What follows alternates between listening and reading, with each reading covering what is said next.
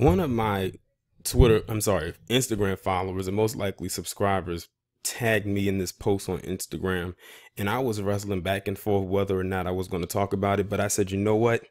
It literally goes right into that live stream that I did the other night about the LGBT community and the toxic behavior that comes from them, especially when they try to label heterosexual black men as dangerous and a threat to them."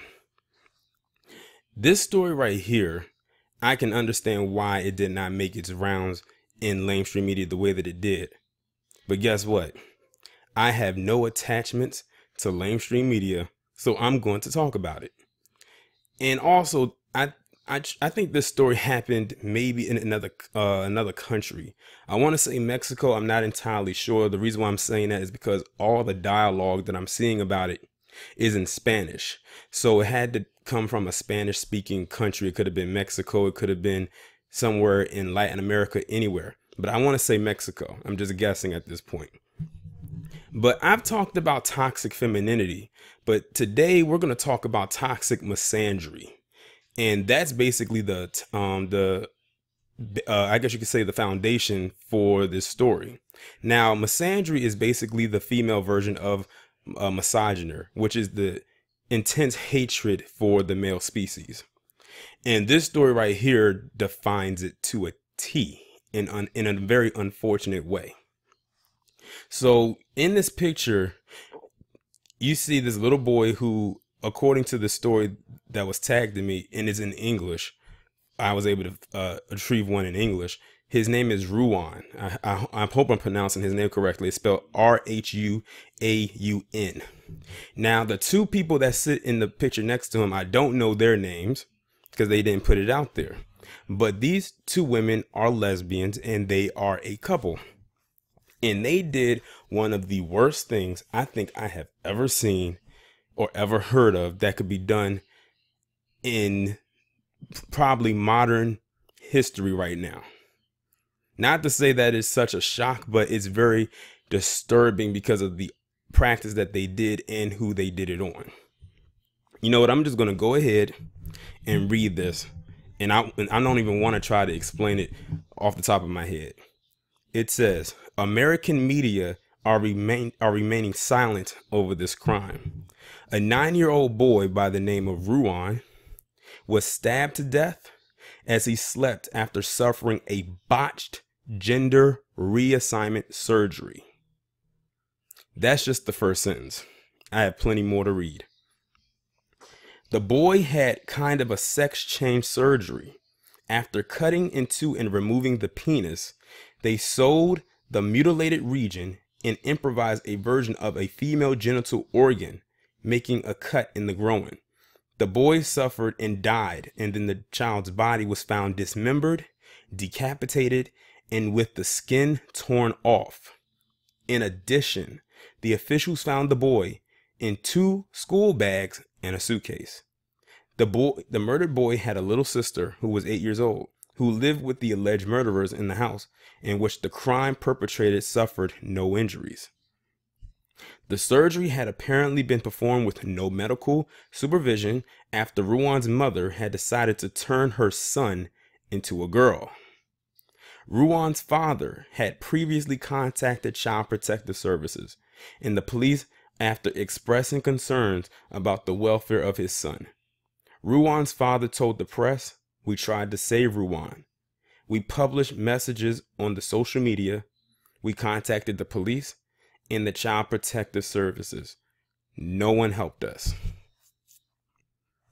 There is a multitude of things wrong with this, but let me go back and retract something right quick. This could have very well did happen here in the States. But it's just that all the outlets that I've read about this were all in Spanish. So that's why I assumed that maybe it happened in a Spanish speaking country. But it could have very well happened here. It's just that because um they had the dialect of speaking Spanish, that's why all the outlets who put it out there was in Spanish. So luckily I found this one in English, which means somebody may have found it in Spanish but translated it over. So I am appreciative of that. Now let's get into the nitty gritty of this. And it this is a very dark story, as you can tell, what I just read. So these two women hate the male specimen so much that the mother, and I'm not sure which one of these is the mother,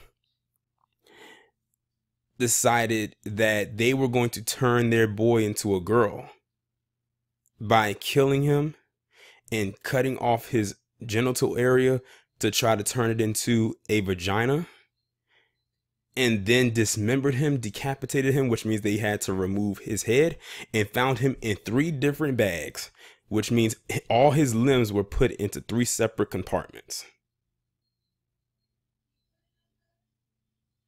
And I feel bad for the dad. As a matter of fact, let me see if I can find a picture. I think this is the dad right here. This is the dad right here with his son.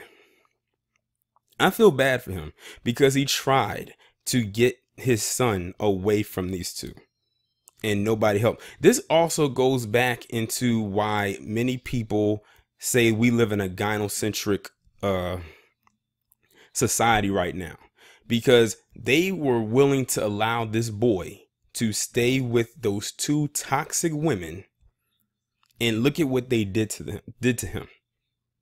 This almost reminds me of course again of the of Deon, uh, Devonte Hart and his family. Two white lesbian women who were toxic as all hell did what they did to those kids and now all those children are dead.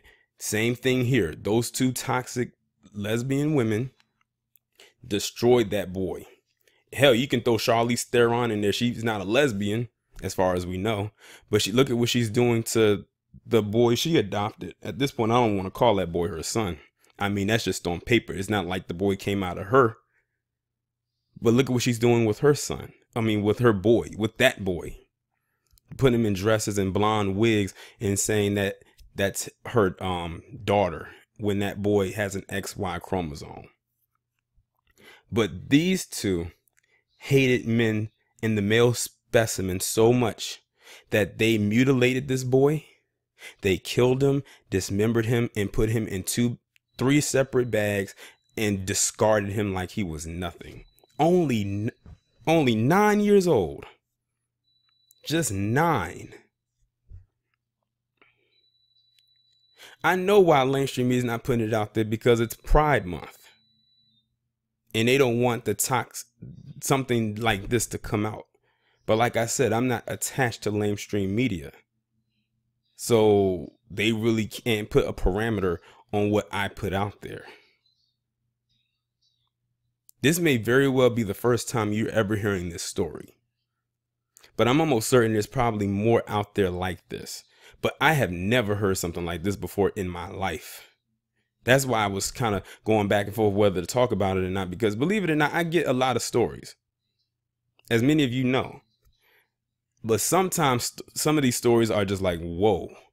But the reason why I'm doing it is because there's an element that never gets talked about when it comes to that community. And this is it right here. This goes beyond toxic femininity. This goes beyond feminism. Feminism, we already know what their deal is. That toxic femininity, we know what that is. They have a, uh, they hate men or they don't like men, but they'll tolerate it. But misandry is they just hate everything about a man or the male species. Now, notice that they killed and they brutally murdered this boy, but the little girl, his sister, the eight year old, is alive. If that girl was born a boy, she would probably be dead too.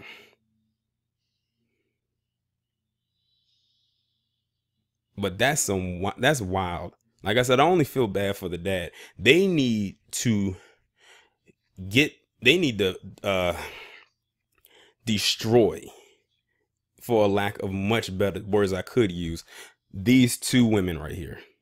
I don't care how they do it, but I hope it's slow and I hope it's brutal and I hope it's intensely painful.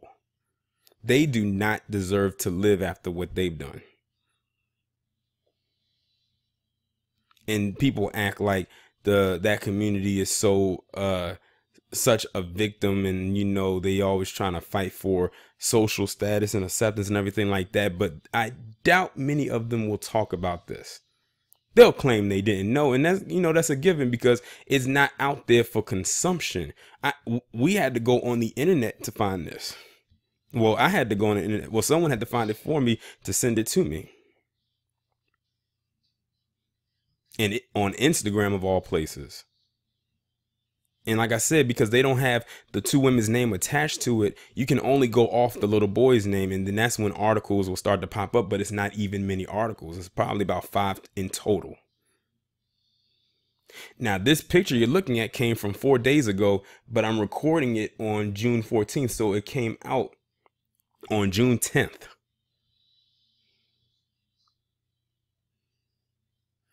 But yeah, like that, like that's just wild. But like I said, offer my condolences to the dad and the dad only.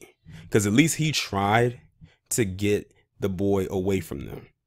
But I also hold the courts and the law enforcement and whoever else did not hear his pleas accountable as well. Because they're just at, they're just as much at fault as these two. If they were able to get away, get him away from them, them sooner, he would still be alive and they also need to get make sure that little girl is not around them either. But I'm sure that with where they're headed, I'm sure the girl is probably most likely in good hands right now. Now I don't know if the little girl is his child or maybe a uh, a child with some other person, but if it is his, he needs to have full custody as of right now.